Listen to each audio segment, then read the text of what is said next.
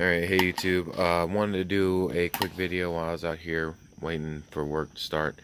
Um, I work, I'm working a summer camp, so, you know, I've been thinking about a couple of different things having to do with the youth.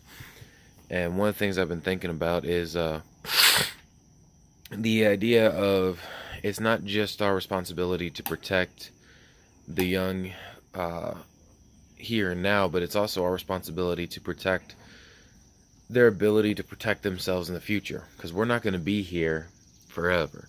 Everybody's going to die at some point. Everybody, you're going to move away. You're going to something that you're not going to be able to protect someone you care about. So it's important that we do everything we can to prepare them to be able to defend themselves, but also that we do everything we can to keep it legal for them to protect themselves with whatever means is easiest and best for them. And, you know, there's all kinds of different ways to do that, but one of the biggest ways, in my opinion, is to advocate for gun rights and to not allow any more infringement on our rights to keep and bear arms.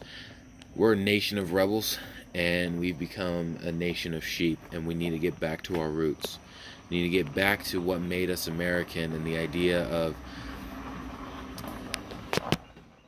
not letting somebody else tell us how to take care of ours. We take care of our own and we do it our way. And we need to get back to that. So, yeah, just a quick little video. Let me know what you think.